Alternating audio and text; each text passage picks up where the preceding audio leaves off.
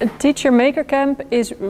is about giving teachers the space to actually experience maker education because teachers of course uh, in, in, in their daily life they have it's quite a high tempo they have assessments and classes it just there's this machine actually they're uh, a part of and dealing with. And this teacher maker camp gives them the really safe uh, and free space to experiment and to uh, to understand what maker education and maker mindset especially is about